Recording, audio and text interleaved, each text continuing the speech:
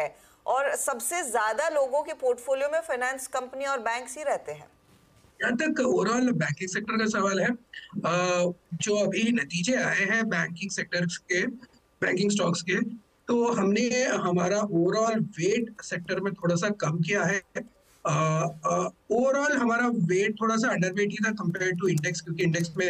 B F S I का weight बहुत ज़्यादा है तो उस हिसाब से हमारा वेट थोड़ा कम ही था। लेकिन आफ्टर द रिजल्ट्स क्योंकि सेक्टर में हेडविंड्स है तो उस हिसाब से हमने हमारा वेटेज सेक्टर में थोड़ा सा कम किया है।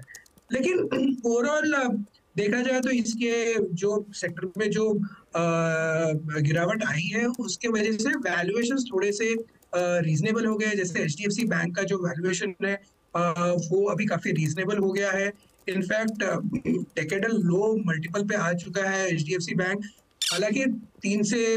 छह महीने के चैलेंजेस रहेंगे for some of these names लेकिन ओवरऑल अर्निंग्स ग्रोथ के हिसाब से बैंक्स में मुझे लगता है कि एफ़ आई ट्वेंटी फाइव में भी अर्निंग्स ग्रोथ ठीक ठाक रहेगा चैलेंजेस थोड़े हैं लेकिन ये लेवल से थोड़ा थोड़ा देखना चाहिए एंड बाय ऑन डिप्स की स्ट्रेटजी यहाँ पे भी बैंक्स में रख सकते हैं।